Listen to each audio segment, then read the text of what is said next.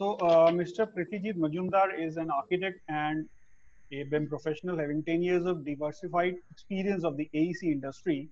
And he mostly uh, worked on BIM project and is very proficient with softwares like Autodesk Revit, Navisworks, and 3ds Max. And he has worked on international projects majorly in aviation and transportation sector. He has hardcore experience in BIM standards and BIM implementation and on renowned project where the need to strategize and uh, CAD to BIM transformation was a primary agenda. So he's worked on the projects like King Abdullah International Gardens, National Bank of Kuwait, Grand Theater, Rabat, Morocco, Hinkley Point C Nuclear Power Station, the and Transportation New Doha International Airport, Riyadh Metro, Doha Metro, Singapore Metro Extension, and obviously working on Delhi Metro. Plus implemented BIM on uh, Ananda Development, Bangkok, and Singapore Metro, Singapore. So over to over to you, Mr. Prithijit. You can uh, share your screen. Okay. Uh, thank you. Thank you so much. And thanks a lot to Capricot and Autodesk. Uh, and another uh, thanks to Sweta, uh, because he was the one who was uh, organizing all this seminars and webinars. So thank you all of, thanks all of you for letting us to be a part of this. So anyways, I'll just start with my presentation because we are already running out of time. So. As of now, uh, what we are sharing is uh, that uh, like we are talking about leveraging technology to automate design processes, uh, which is the topic, today's topic. And uh, what I'll be showing you guys today is I'll be showcasing a DMRC project and whatever we are uh, running through and working on in the DMRC project. So basically, if like moving on to the first slide, which is like I'm just showing you guys like interior model and interior view and the exterior view of the DMRC station, which we are uh, like creating right now. Uh, for the past one and a half years, we have been working on this. So it has taken like almost six to eight months of design, which was done in a CAD uh, 2D platform. So and then after six to eight months, we have uh, transformed from CAD to Revit. We had faced a lot of difficulties in the initial stages, uh, which I'll be talking about a little bit. So moving on to the next slide, which is uh, uh, here we have uh, basically contents of the whole slide, which is uh, pre-construction stage, which, is design design phase. So first of all, uh, the DMRC design stages consist of conceptual design, first design stage, tender design, good for construction stage. So we have four stages before construction stage. So as of now, like uh, what we have done is we have done all the stages in CAD, and then we have followed the same for the BIM, BIM protocols also. So after that, I'll be talking about uh, level of details of BIM models, then use of BIM 360 as a common data environment, advantages of BIM 360 docs, advantages of BIM 360 design collaboration, clash detection, reporting, and resolution. Then I'll be also talking about uh, like BIM models and submission to DMRC on BIM 360.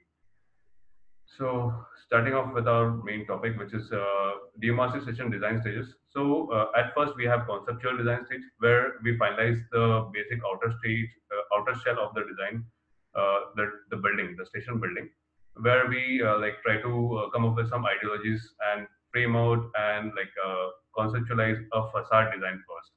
And then try to like zone out the interior design design parts wherever the technical rooms are there, the circulation uh, will be possibly happening and the like flow of the crowd footfalls actually.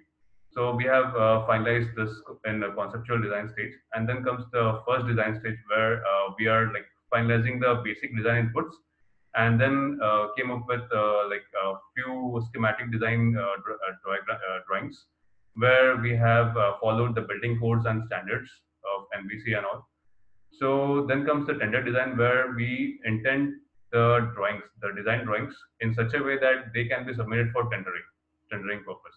So for that, uh, during this stage, the structural design uh, and the MPF design, uh, like design models, have come into place because uh, we have to submit uh, like uh, collaborated and design coordinated drawings for this stage for tendering purpose, definitely.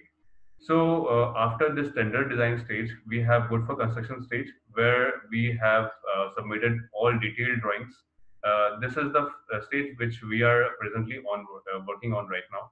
So we uh, like we are in the verge of submitting detailed drawings with all the details of each of the model elements, which we are submitting right now to DMRC phase by phase and station by station, like on a daily basis. Uh, we are basically we are trying to submit it on a weekly basis, so uh, like the work is uh, on a high peak. We are working day and night nowadays due to this COVID stage, and we are also doing work from home to like complete all the drawings and the designs and the models as of as of now. So in the uh, uh, like uh, coming back to the BIM, BIM. yeah, coming coming back to the BIM implications on this stages, design stages. Uh, what we have now is uh, whatever we have done, uh, the BIM innovations which we have implemented in the CAD environment. as per DMRC's requirement, it was a mandate that we should submit all the design models in BIM, in Revit specifically, and in Navisworks also, along with the clash detections, uh, clash detection reports. So basically, I'll talk about uh, like the concept design stage, which is LOD 100. Uh, so basically, we have uh, we had to create uh, some concept facade models with multiple design options, and we have showcased that to TRC to analyze and finalize the design design feasibility. So we have also done an internal zoning as per the initial requirements for the basic, like as per the design, basic design inputs. So what we have done here in Revit software in the initial stage is like uh, we have come up with a project template which consists of a title block, view templates, project information, initial families, uh, like the basic families actually, and uh, we have done done view setups, grids, levels, and visibility settings for the initial schematic drawings. And then comes the uh, project geo coordinates, uh, which consists of uh, shared coordinates, project base point and survey points, and geolocation coordinates. So we uh, like it's the geolocation coordinates are as per the world coordinates. So we have placed our model in such a way that it aligns directly to the world coordinates. And then comes the project parameters and shared parameters. So in the initial phase, when we are coming up with the uh, concept design only, and when we are starting to work in the Revit environment, uh, so we have finalized uh, like the major project parameters and the shared parameters, which we'll be using on the later stage of the project. But these uh, parameters are evolving stage. Uh, they'll keep on coming as uh, we move on with the project. And then uh, like linking conceptual CAD drawings to the Revit and start creating models on uh, based on initial inputs. So in the initial stage in the concept design, we have inserted all the CAD drawings and started building up the Revit models so that uh, we can finalize the grids and levels uh, to the like model external and model external facades and the internal zones as, as I have talked about earlier. Then the next stage is uh, first design stage, which is LOD 200. So in this stage, what we have done is we have done a detailed, uh, like more, it's more detailed aligned to the uh, design requirements and the codes then we have the basic structural model and the basic MEPF model also uh, like in initial inputs for this, this stage. So here, if I talk about Revit, uh, what comes up is the incorporating uh, CAD, CAD elements to the Revit model by converting CAD blocks to Revit, uh, Revit families. So basically, everything starts up with CAD because it's the basic 2D uh, uh, drafting and designing tool.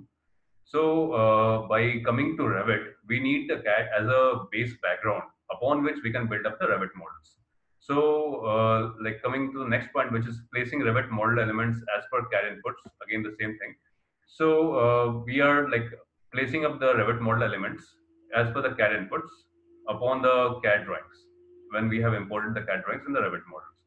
Then we have done an extensive use of view templates to control the multiple views such as plans, elevations, sections, uh, because uh, like uh, we have a like number of uh, like 10 drawings 10 basic drawings which we we have in the revit models which are basically plan section elevations so uh, like these 10 drawings are being like sent across to dmrc for review reviewing purpose and uh, like dmrc has commented on those drawings and has sent it back to us so that we can upgrade our model as per their comments and then comes the basic schedules for lump sum quantities and counts.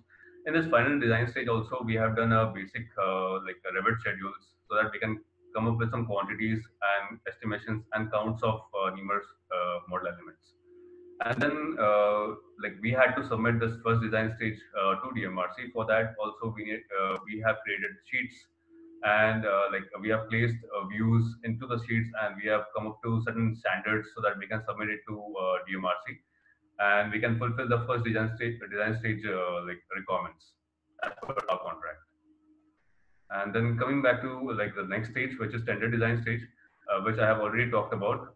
It, it's in a LOD 300 format, and this tender design stage is a stage where we have submitted design drawings, detailed design drawings to DMRC so that they can forward it in such a way that that, that can be tendered and the contractors can be uh, on board upon bidding on this tender drawings.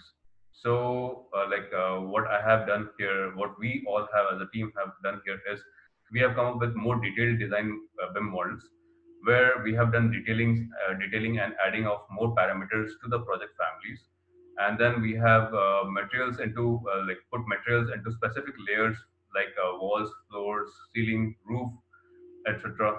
Uh, like uh, we have done more detailing to the walls, floors, ceilings, and roofs so that it can be shown in the enlarged plans and the other plans so that it can be like uh, converted into a tender design stage drawings. Then we have also controlled the visibility and the object size of the model elements as per the client requirement so that it can be properly visible in the drawings which we have uh, submitted to DMRC. And then finalization of sheets for tender drawings with all submission standards incorporated.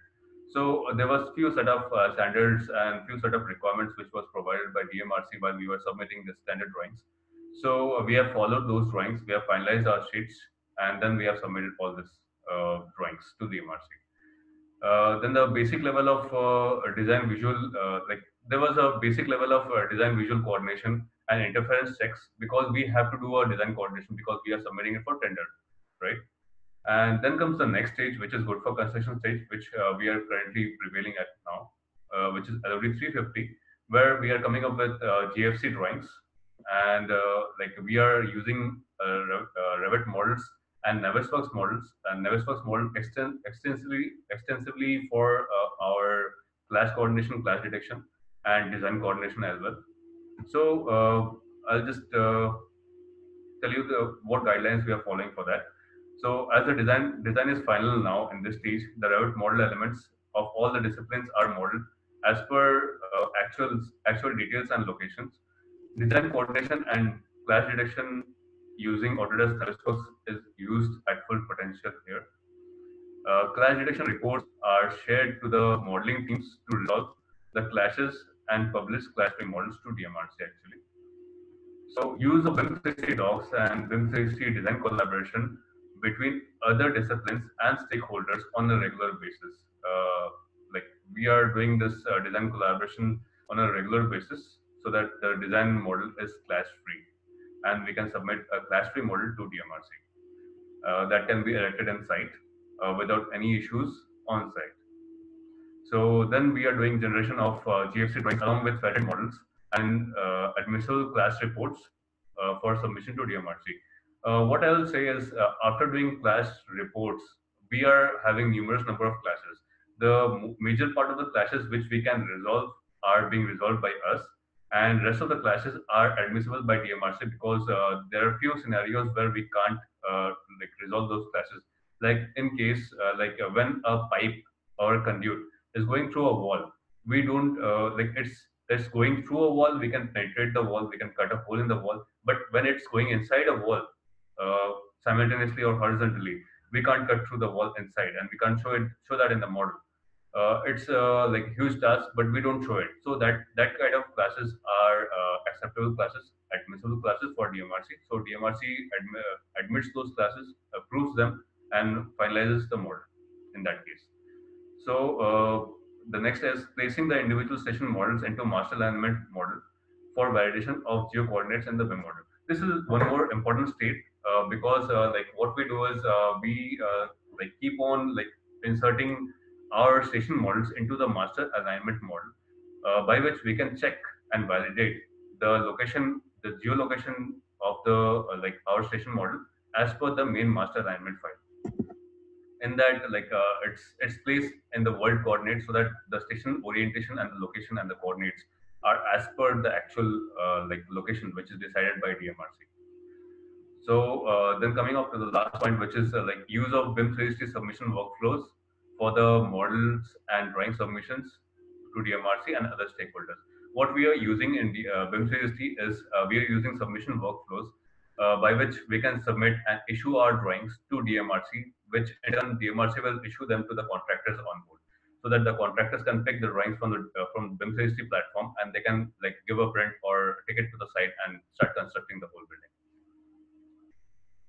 So the next next part, I'll be talking about level of details of the BIM model, which I was talking about in the last slide also. Uh, this one is a little bit detailed, but uh, as we don't have time much, I'll just uh, like go through it in a hurry. So basically, LOD 100 is uh, like creating multiple design options. It's a conceptual and a schematic designs uh, design model, which we talk about LOD 100, which is the basic like a basic beginning of the design stage. So here we can also use it for uh, like a site analysis, feasibility study, zoning of the project. And then comes the LOD 200 part, which is uh, preliminary design, which is like a little bit more detailing to the conceptual design. And then we come up with some uh, like few uh, finalized design options in the stage. And next stage is tender design. Uh, the tender design is basically what I have talked about earlier. Uh, this this design stage consists of LOD 300 modeling, and in here like we like run a basic level of clash detections and we finalize standard design drawings which we submit to the client. And then comes the gfc stage uh, which is good for construction stage. Uh, here we have a LOD of uh, LOD 350 uh, this LOD 350 uh, is having like integration of further design uh, detailed design details into each and every model elements in order to extract detailed GFC drawings. So basically the purpose of this GFC is uh, to take out GFC drawings but for construction drawings so that that can be issued to the uh, client so that the client can issue it to the contractor and contractor can like uh, uh, do more detailing into it so that it can become a construction uh, documentation and construction model which we call LOD 400 to 450. Uh, this construction drawings also consist of fabrication drawings, uh, tender drawings, uh, shop drawings, of the like uh, few specific elements, model elements, which are uh, done in more details by the subcontractors or the vendors of the contractor. And uh, finally, which uh, we land to LOD 500, which is as built. So this uh, this stage uh, we have the building models as per the physical building model, which with all the dimensions and all the adjustments made on site, which is recorded in the model and which is kept as a like a model which which can be used in later uh, part which uh, can be used as a innova- uh, like renovations of the uh, building. So basically we have uh, different dimensions of BIM which is 1d 2d 3d 4d till 7d so basically 3d knows that length width and height. 4d consists of time which we do 4d sequencing timeliner uh, like to show the project schedule and the construction sequencing while we are working on the project and the 5D comes under costing and estimation, uh, which we like in, uh, incorporate the uh, costing of the materials and the model, and the final output is the costing analysis. Uh, then we come come into 6D, which is analysis part. Uh, this 6D analysis part consists of structural analysis, load, structural load analysis, and structural other analysis, as well as MP element analysis, which can be optimized, which is used for basically design optimization so that uh, once the uh, building is being made, building is constructed, and the services are done, the building works as per expectation. And then we comes uh, come to 7D, which is O&M, which is operation and maintenance. So the operation and maintenance is basically after the building has been built, we try to like incorporate all the like uh, working working data into the building model, where like uh, uh, uses of IoTs also come into place where we incorporate all the working data of the building and try to like uh, use it so that we can like uh, like uh, do a maintenance of the building elements in a proper way. So moving on to the next slide, uh, here we have a few rendered views uh, of the station, which we have done. Uh, all these renderings are part of Enscape 3D. So we have used Enscape as a rendering tool for our BIM models. And the next we have uh, this walkthrough, which I'll be showing. So this is the outer uh, you can see the facade design of the entry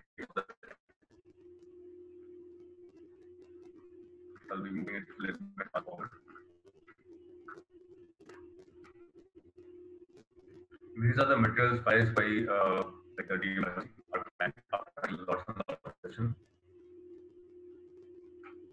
and this uh, walkthrough is also from Enscape which is the plugin software which we are using for all the stations in the project. This is the station having stages and elevators. Uh. Elevators are there in the backside.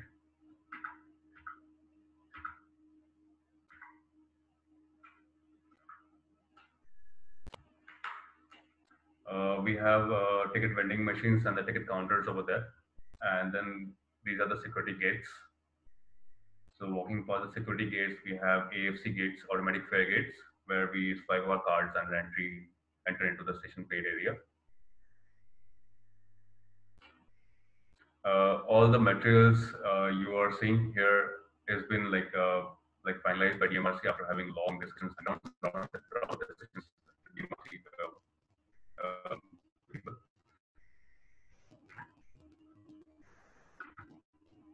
there's a, a control room, basically. There's a station control room here, from where officers can position parameters.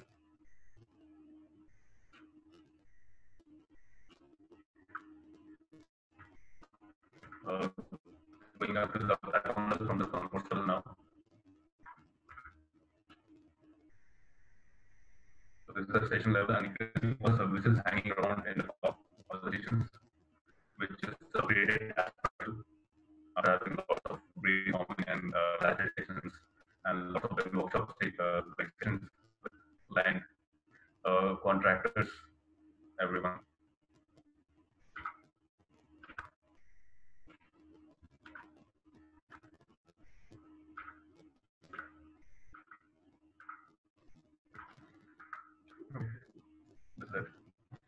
So coming on to the next slide, which is uh, the use of BIM 360 as a common data environment. Uh, I would like to talk about a common uh, data environment, which is a common basic platform where uh, like uh, we can access to upload the models, we can review the models, we can upload the model for the client to review it, and uh, the client can again share it to the contractors, where the contractors can upload their models, and they, then everyone can sit on a collaborative workshop where we can discuss about the like models and the design elements. And whatever the clashes? Can be uh, like we, we are here to like resolve all the clashes and the design coordination issues can be resolved there in this common data environment. So here for this project we have used uh, BIM 360 for uh, common data environment. So here are a few like uh, like pros and uh, pro uh, like advantages of using BIM 360 so here, like we have used design collaboration, document management, and desktop connector. So design collaboration is used to like uh, collaborate our designs, which we are uploading on a daily basis. Then we have document management. Document management is also kind of a similar thing where we are uploading the documents for submission sake. And then we have desktop connector so that we can work on the Revit software and directly connect to the BIM 360 cloud. Then uh, the advantages of BIM 360 Docs is like it streamlines, uh, streamlines project uh, BIM project workflows, saves time, reduce, reduces risk, mitigates errors in the construction projects, helps improve quality, safety, and commissioning for construction, supports lean construction practices, multiple project members working on the same file from various locations. Uh, work from home uh, became very easy uh, just with good internet connections. like specifically during this COVID scenarios. Uh, work from uh, then next is collaborative environment and uh, enables better design coordination. Visual Q, QA QC became part of daily practice because uh, whatever model we are working on, we are working on 360 directly using our Revit. So anyone can uh, do a like visual QC on the models directly. Then uh, we have presentation presentation to to client turn out to be really very simple in few clicks and then submission delivery and approvals was totally simplified. Uh, just we have to do few clicks and it gets submitted to the client. Then uh, the advantages of BIM 360 design collaboration. Again, uh, when we are using design collaboration, we are trying to link it uh, like the file linking and collaboration for design collaboration, uh, design coordination is very simple. Uh, when we are having many stakeholders and other vendors and subcontractors on board, and all of them are working on the same platform, it's a very uh, like hectic job. But due to BIM 360 and like due to like like all the protocols which we have set in the beginning, all the protocols was set by DMRC as well as we have set few internal protocols which help us a lot to manage all these models and submission uh, during this whole scenario. Uh, then we have clash detection and reporting uh, and resolution also. So the clash detection is done uh, in our model from architecture versus structure, architecture versus MPF, structure versus MPF. And then we have done clash detection reporting, which is like uh, all the reports out of which we have submitted to the internal teams and other stakeholders so that all these clashes can be resolved as soon as possible so that we can submit the final clash free models to DMRC. And uh, the teams were uh, like, uh, like teams were uh, teams were given all the clash reports. They were shared with all the clash reports and the issues. Uh, we were following this clash metrics to resolve all the clash issues uh, between all the different disciplines so that the clashes are resolved as soon as possible and DMRC reviews the clash free models along with the admissible clashes uh, and approves the model simultaneously. So uh, finally, we while submitting to DMRC, we are following few workflows. Uh, like on the, the workflow, the first workflow is submission, submission of the model workflow, and the second workflow is submission of the clash free model workflow. So we are uh, when we are submitting the models, we are using uh, model workflows to submit to DMRC, and we are, when we are submitting the clash uh, free models and the clash reports, the admissible, admissible clash reports, we are submitting through uh, a different class, a different workflow, which is a clash review workflow. So uh, finally, uh, we are from Egis. We are working on DMRC project as of now. And thank you everyone for being with us and for your support. And over to Parad. Yep. Um, thank you, Mr. Prithvijit, for uh, discussing in detail your uh, mega project uh, for Metro and how you you know delivered on Revit and